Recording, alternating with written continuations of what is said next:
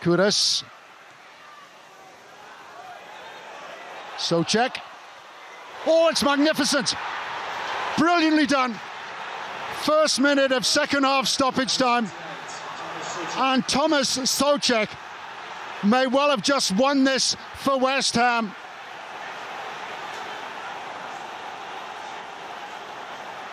A fabulous goal. How he enjoyed that.